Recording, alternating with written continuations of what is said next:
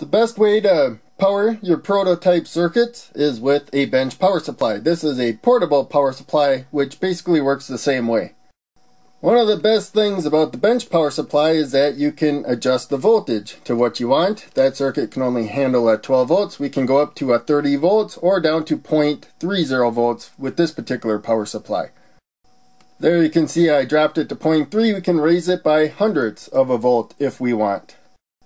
Bench or portable power supplies also have a current limiting function. Right now it's constant current because we're dropping current below less than what the load wants at 12 volts.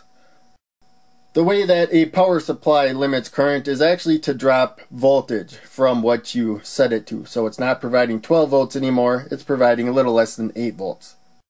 This power supply can provide a lot more uh, current, about 3.75 amps at 5 volts, or 1.666 amps at uh, 30 volts. The higher the voltage, the less current it can provide because it can only provide so much power. The most current you should put through these indicator LEDs is 20 milliamps. So if that's all I'm powering, that's usually what I set the power supply at to uh, make sure I don't fry the LED by accident. Now we have uh, current going through there.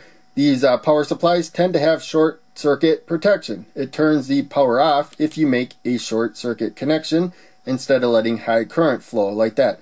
And we have to turn it back on now to uh, reset it basically.